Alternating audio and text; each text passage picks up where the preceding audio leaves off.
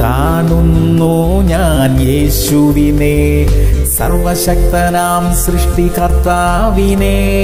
അലറും തിരകൾ നടുവിൽ ഞാൻ കാണുന്നു എൻ കർത്താവിനെ.